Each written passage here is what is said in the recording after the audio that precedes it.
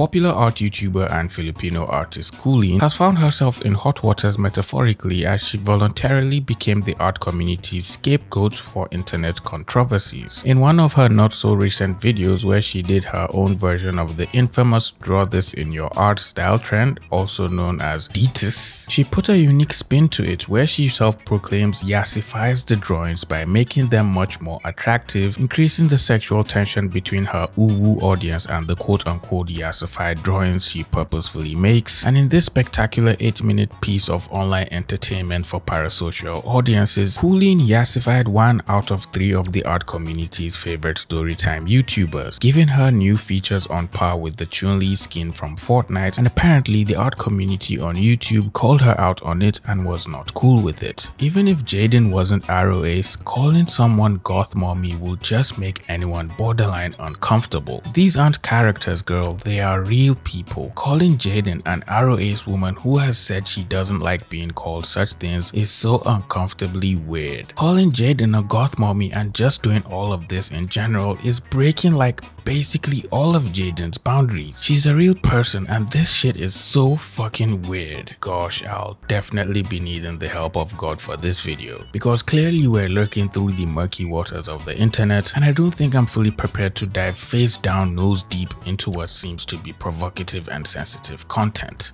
Yassification what does it mean to yassify? Giving someone or something a glow up or makeover, not to be confused with looksmaxxing, which we'll get into in a completely different video from this one. To yassify someone or something, according to Urban Dictionary, means to give them a glow up or do something that makes you scream yes queen while snapping your fingers. It normally refers to a change admired in the LGBTQ plus community or boss bitch culture. The term yassified or yassification has been around for some time now and while it was not so popular in the art community, it had already triggered multiple memes on TikTok and other social media platforms. Memes with celebrities or popular characters sporting a pair of new eyelashes the size of frisbees and sparkling juicy lips with a matching set of also sparkling press-on nails attached were already circulating the internet and while most of these yassified photos mostly stopped at the face of the character, some other interesting users of cyberspace started taking their yassified photos a little too far adding things like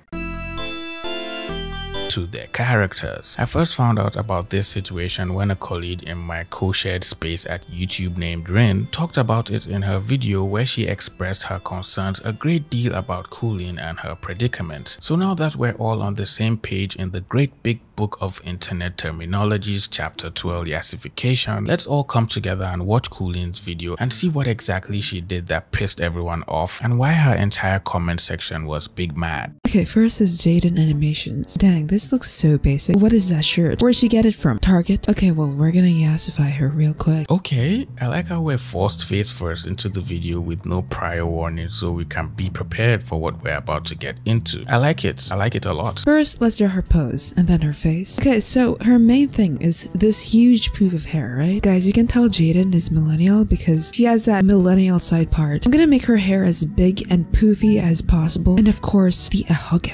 Wait a second, guys. This is what Jaden looks like in real life. Wow. Mommy? Wow, I didn't know she was a goth mommy. Ooh la la. Look at those tattoos that will be a pain in the butt to draw later on. Aside from the subtle jabs and not so under the table jokes Kooleen throws at our audience, while she goes ahead to dissect the very very essence of the reference photo, Kooleen made a big mistake which at this point will seem rather innocent on her part, but will go on to haunt her for the rest of the video. Doing this to someone who's had severe body dysmorphia and has hid her face out of fear of this happening is insane. Let's not call Jaden goth mommy when she's Ace and has said she doesn't like being sexualized. This is really up to do to someone who used to be anorexic and has expressed having insecurities with her body. Not only did you make her skinnier and stereotypically attractive, but you also called her a goth mommy when she's Ace and very uncomfortable with being sexualized. This is weird behavior. You're drawing real people and changing them into this model of conventional Eurocentric attractiveness instead of respecting them as people whose real features deserve acknowledgement. Why would you compare her to how she looks IRL when you aren't drawing that at all. Aro ace, aro ace. What does aro ace mean? A person who feels little to no romantic nor sexual attraction. Short for aromantic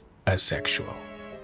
Oh, well, shiver me timbers. I just learned a new one on the internet today. As per usual, some aromantic, asexual, or aromantic asexual people may also feel romantic or sexual attraction for others, but don't feel a need to act on their attraction.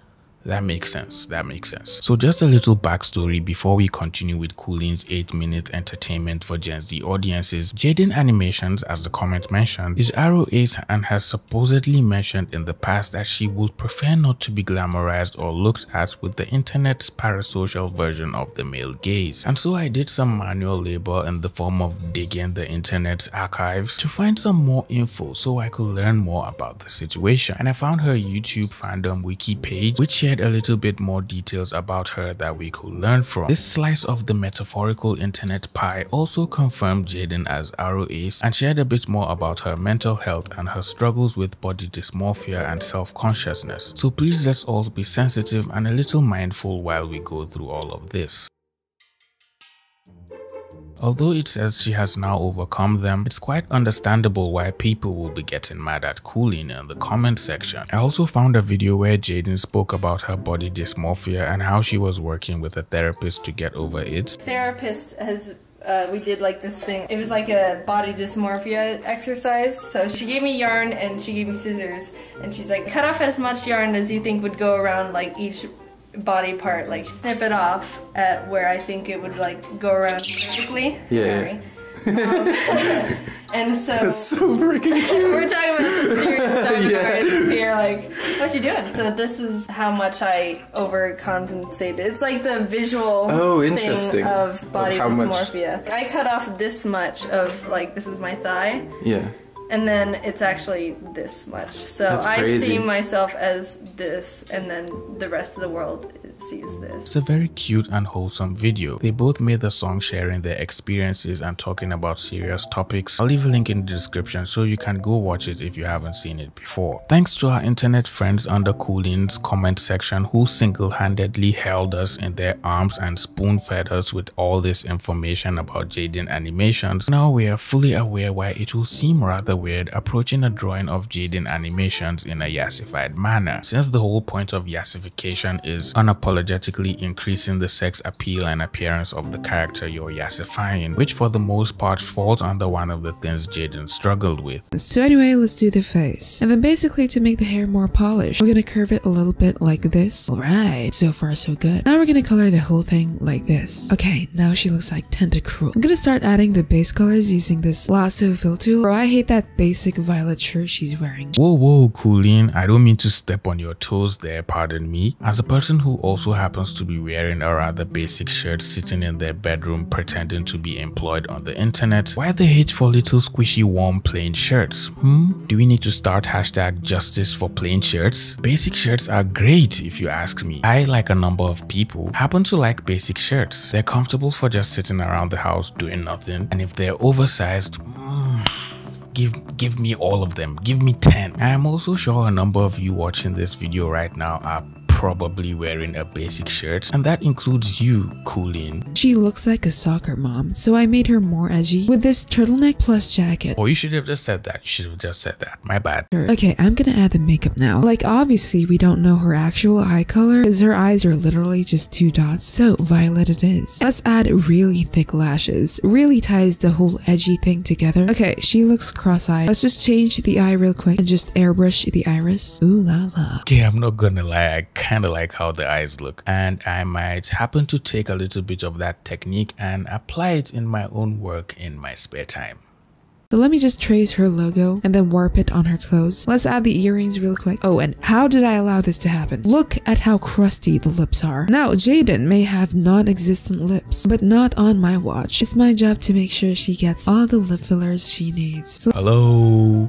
Hello, Kooleen. I don't think we have the capacity to keep on defending you for pretty obnoxious things you're saying in this video, Coolie. Don't think we can keep on doing this for too long, Coolie. You're literally using your own words to cause problems for yourself. Like a Hogwarts student intentionally skipping school and trying to cast a spell on a muggle with a broken wand. The entire Ministry of Magic is going to come crashing down on you. Let's see here what the comments are saying. It's my job to give her all the lip fillers she needs. Is what you're saying to someone that was afraid to show their face? Now, Jaden may have non-existent lips. It's my job to make sure she gets all the lip fillers she needs. Girl, what the hell? Not defending her for sexualizing, but it's pretty obvious she was talking about Jaden's avatar and not Jaden herself in that line. I hope, I sure do hope she was talking about the avatar and not the real person because that will literally be doing a 40 feet long jump over the line and not just crossing it. Yeah, but if she took one second and thought about what she is saying, she would realize that it is kind of a rude thing to say that someone needs lip filler. I get she was talking about the avatar avatar, but that can easily be misconstrued. You all need to calm down. How was she being rude? She was only talking about her avatar, not Jaden herself. So it was just a joke. Can't imagine actually taking something like that so seriously over not even the real person, but just the avatar. These are all jokes. People are so defensive. The people getting overly defensive as you have pointed out since you're so great at pointing things out on the internet instead of just actually looking at things and trying to understand them them for what they are, Jaden has been conscious about her self-image at a particular period of her life. And even if we're not entirely sure if she's in a better place right now, most people are just trying to give her all the respect and peace that she needs now that everyone is aware of it. Which is why everyone in the comments is rather keen on Kooleen not yassifying the real life version of her. I liked how this turned out. Before, non-existent lips, dot eyes, and after,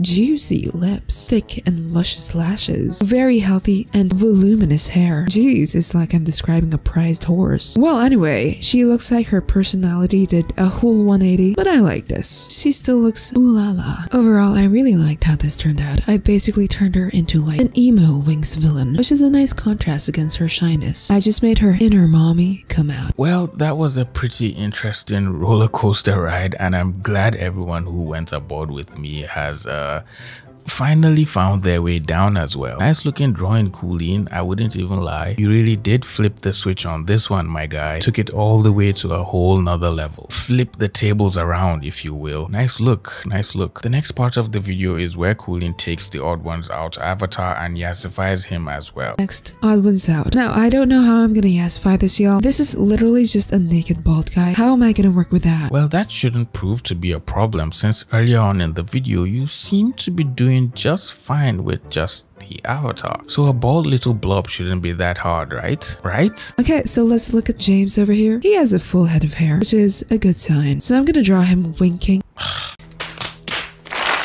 I I'm lost for words. He's American, not British. So let me just fix the lips real quick. juicy. I didn't really know what to do with the hair. I'm literally just kind of copying his real life hair. But anyway, let's just render his suit real quick. I'm gonna add a little clip on his tie and then a bandage over here and um some stars. I don't know. So this time instead of turning him into the badass persona like how I did with Jaden, I just made him kind of bubbly. And I get that that's not his character at all, but it would be a nice contrast against his sarcastic sarcastic humor. I rate this 3 out of 10. I could not yassify a naked bald guy. Okay, that makes sense. Thank you very much. I'm so glad you gave yourself the perfect rating without having us do anything else for you. We truly appreciate the honesty and intense care you take in yassifying your drawings. I'm sure no one will find offense in your cute little drawings, right? Because going off of people's actual appearances was the best thing to do? Weird. Why do you need a picture of the person IRL if you're yassifying their online personas?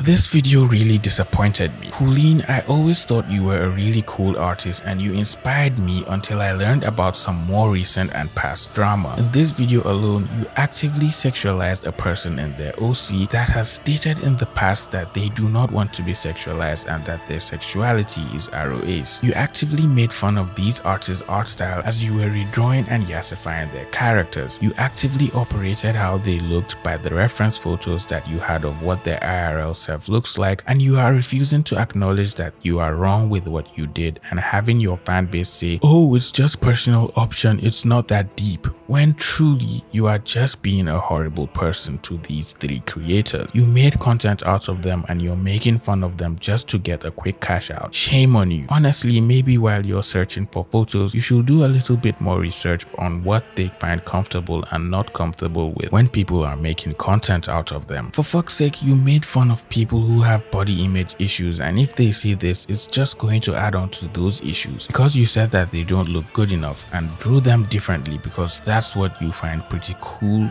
or cute shameful. Well, that entire call out was a mouthful of a read. And up until this point, the entire comment section of Kooleen's video is still bombarded with people calling her out for making fun of the animators and supposedly changing their race in her drawings and not respecting the personal boundaries these animators has set out for themselves. Now, I wouldn't want to make an excuse for Cooline, but as a colleague in this office space of YouTube Central, there are incidents where a creator may not possibly know about about an individual's law I may not know about some things regarding them just because they probably don't consume their content enough or are not in the same community as the creator and their audience. So when situations like this arise, doing your own research to confirm if everything you're being told in the comments is true is the only logical step before then updating the video with a little note explaining what happened and cooling off the heat you have drawn to yourself, especially if you really didn't know and just made an innocent mistake. And I know YouTube apology videos videos have become extremely cringe and the bane of everyone's existence, but a simple note in the description, pinned comment, or on the community tab acknowledging your mistake to your audience will go a long way for your image, especially to your enraged audience. Except while you're under a presumed NDA and you can't talk about the situation at that particular point, then I guess that's a different story. The video ends with Kooleen yassifying the last animator and while this one is apparently not as problematic as the last two since she tried to stick closer to his avatar this time, so a lot of people were not going off on her in the comments for drawing him a little weird or making fun of his features. At this point, it's safe to assume Kooleen is probably sorry not sorry for her video, and while people are in the comments edging her on to bring out the ukulele and make an apology video, the probability of that happening is literally the same as seeing a pig with wings fly in 2024. So I guess the only thing everyone can do is just to move on for their own peace of mind. Well, it looks like we've made it to the end of this video. If you enjoyed this video, please leave it a like, share the video with a friend, and subscribe to the channel if you are new here.